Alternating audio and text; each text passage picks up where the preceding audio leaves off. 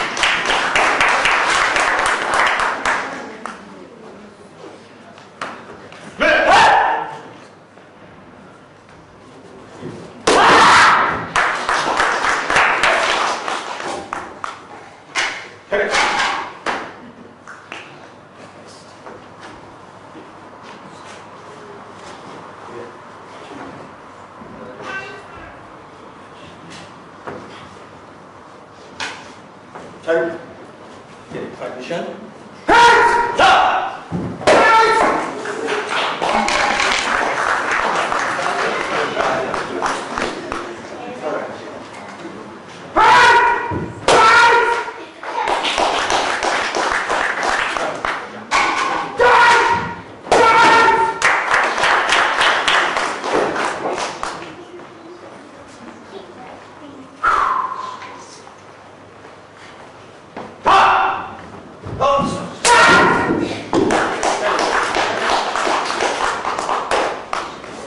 Next.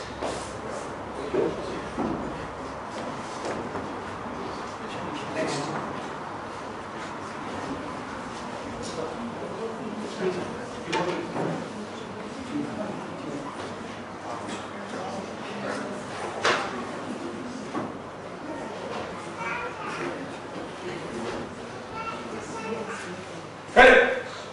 Get in.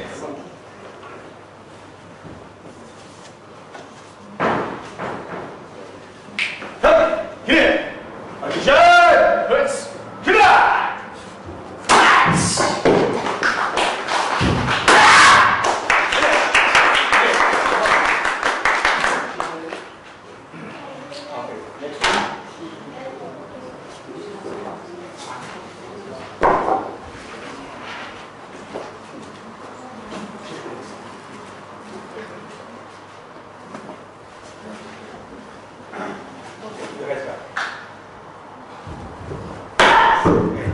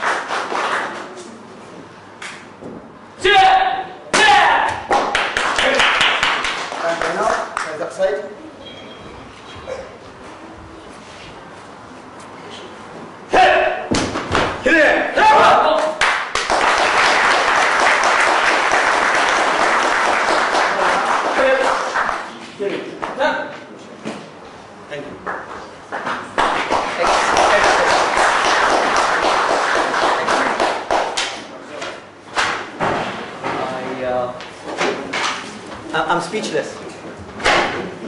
I'm, I'm not I'm not much for violence myself, but uh, I feel comfortable having guys around like that, and I sure wouldn't like to be on the receiving end of anything like that. Uh, so there we are.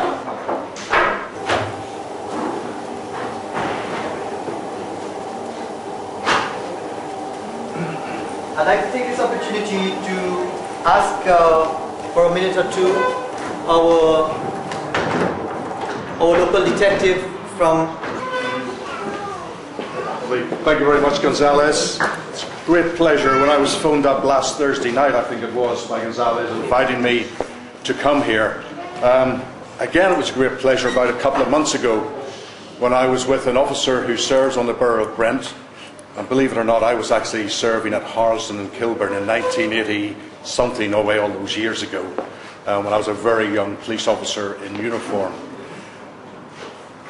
I met Musa then, and I was highly impressed with the work that was being done and that he was hoping to continue and develop with the group at Al Taqwa.